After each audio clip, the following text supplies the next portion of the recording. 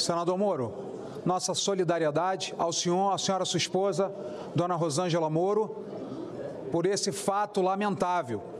Mas eu quero trazer ao senhor uma reflexão sobre sinais que o Estado brasileiro, as forças, os poderes brasileiros têm dado ao crime organizado e que lhe está sendo conferido ousadia atentar contra a vida de um senador da República, um dos cargos mais altos da República Federativa do Brasil.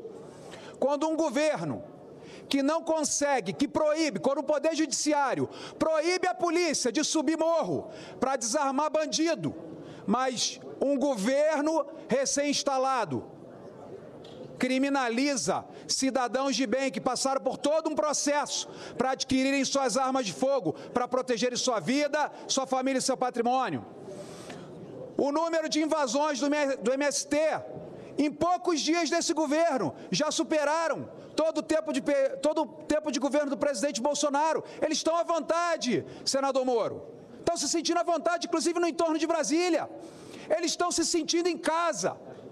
Quando juízes liberam traficantes com metralhadora, com fuzis e cocaína, porque a polícia abordou de forma ostensiva. Eu não sei como a polícia deve abordar bandido. É com caixa de bombom, com flor, com pomba ou cantando Imagine do John Lennon. Quando um, um presidente da República, dentro de sua sede, Palácio do Planalto, reúne jornalista e fala em tom de deboche, que eles querem lhe fuder, e perdoa a palavra, mas foi a que o presidente usou, então eu me dou o direito de usá-la, né?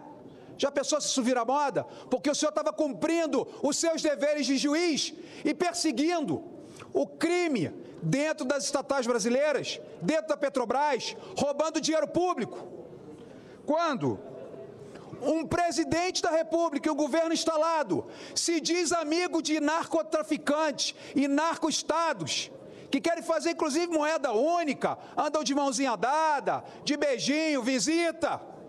O que nós podemos esperar é que o Estado brasileiro está sob ataque. E não foi o senhor que sofreu uma ameaça. Aos 25 dias de janeiro, um dos maiores criminosos dessa nação, teve a sua prisão flexibilizada, saiu lá de Rondônia e veio para Brasília. Nossa, que coincidência! Então, são sinais, infelizmente, que o governo atual tem dado para a criminalidade.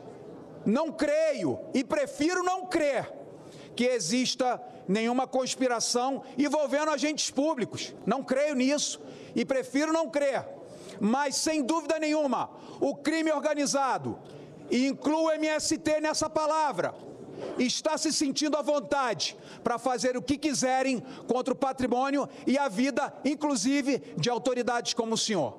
Quero lhe dizer, como já lhe disse pessoalmente, agora faço em público, que sou apoiador da sua proposta e toda a minha solidariedade. E que Deus abençoe o senhor, a sua família e que abençoe todos os senadores dessa casa todas as pessoas que o povo brasileiro elegeu para representá-las, independente de ideologia. Aqui nós somos plurais e somos resultado da vontade do povo brasileiro. Obrigado, senhor presidente.